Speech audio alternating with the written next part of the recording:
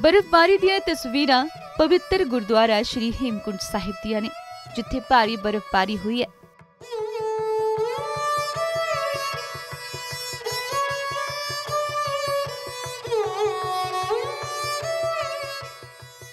ਤਸਵੀਰਾਂ ਦੇ ਵਿੱਚ ਵੀ ਸਾਫ਼ ਨਜ਼ਰ ਆ ਰਿਹਾ ਹੈ ਕਿ ਗੁਰੂ ਘਰ ਵੀ ਬਰਫ਼ ਦੇ ਨਾਲ ਢਕਿਆ ਗਿਆ ਹੈ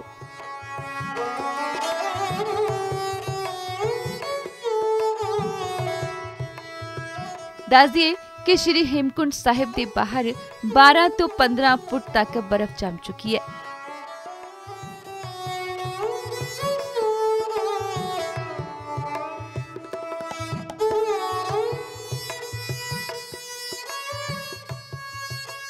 ਸਾਰਾ ਗੁਰੂ ਘਰ ਵੀ ਇਸ ਬਰਫ਼ ਦੇ ਵਿੱਚ ਢਕਿਆ ਗਿਆ ਹੈ ਨਿਸ਼ਾਨ ਸਾਹਿਬ ਤੋਂ ਲੈ ਕੇ ਗੁਰੂ ਘਰ ਦੀ ਪਵਿੱਤਰ ਝੀਲ ਵੀ ਬਰਫ਼ ਦੇ ਨਾਲ ਜੰਮ ਚੁੱਕੀ ਹੈ ਤੇ ਬਰਫ਼ ਦੀ ਚਿੱਟੀ ਚਾਦਰ ਨਾਲ ਪੂਰੀ ਤਰ੍ਹਾਂ ਢਕੀ ਗਈ ਹੈ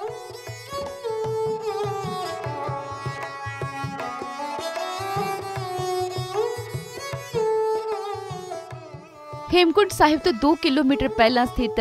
ਅਟਲ ਕੁਟੀ ਗਲੇਸ਼ੀਅਰ ਤੋਂ ਕੱਟ ਕੇ ਉਸ ਵਿਚਾਲੇ ਇੱਕ ਰਸਤਾ ਬਣਾਇਆ ਜਾ ਰਿਹਾ ਹੈ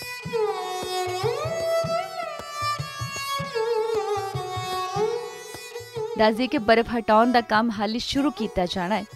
ਅਤੇ ਗੁਰੂ ਘਰ ਦੇ ਦੁਆਰ 25 ਮਈ ਨੂੰ ਖੋਲੇ ਜਾਣਗੇ ਤੇ 10 ਅਕਤੂਬਰ ਨੂੰ ਮੁੜ ਤੋਂ ਬੰਦ ਕਰ ਦਿੱਤੇ ਜਾਣਗੇ।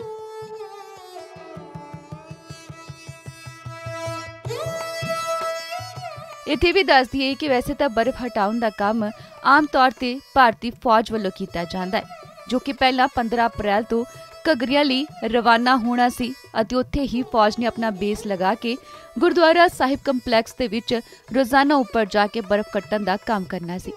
ਹੁਣ 19 ਅਪ੍ਰੈਲ ਨੂੰ VOTING ਪ੍ਰਕਿਰਿਆ ਸ਼ੁਰੂ ਹੋ ਰਹੀ ਹੈ, ਜਿਸ ਕਰਕੇ ਬਰਫ਼ ਹਟਾਉਣ ਦਾ ਕੰਮ 20 ਅਪ੍ਰੈਲ ਤੋਂ ਸ਼ੁਰੂ ਹੋਏਗਾ।